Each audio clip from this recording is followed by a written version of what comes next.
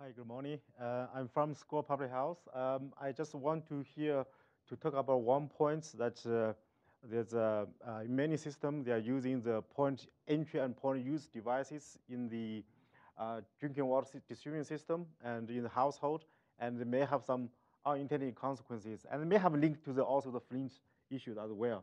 So uh, in the United States and also elsewhere, we use so-called multiple barrier approach to provide clean and safe drinking water to the public.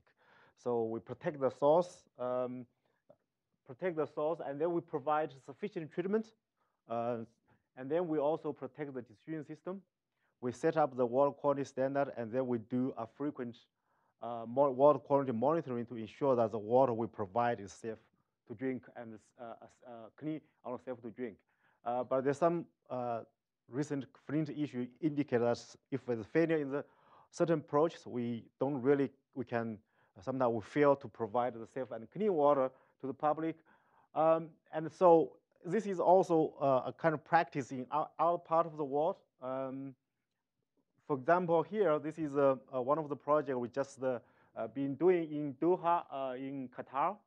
So there's no fresh water. They use, they use desalination process to provide uh, the water to the public.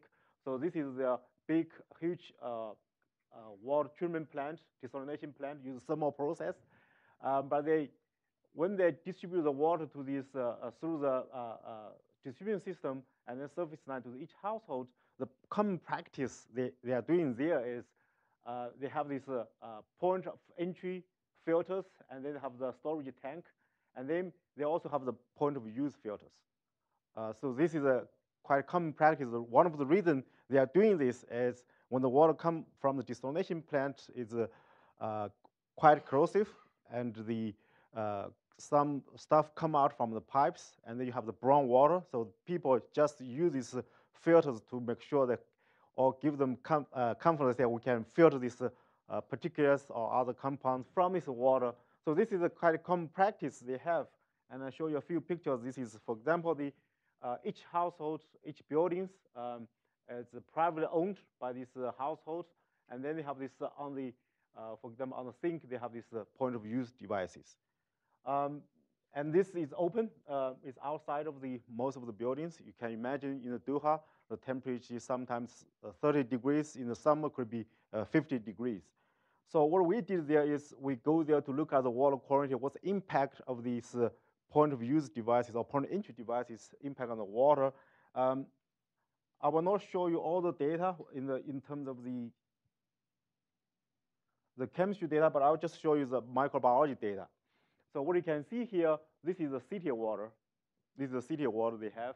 Uh, we don't really detect much, many HPC from the city water.